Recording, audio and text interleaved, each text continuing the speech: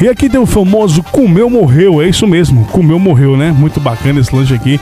ainda saí açaí, milkshake, muita coisa bacana e um papo bacana com a família aqui, ó. Nesse ambiente maravilhoso, com mesas disponíveis para você.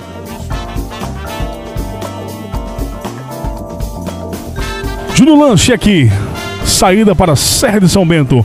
Vem pra cá, vem conferir.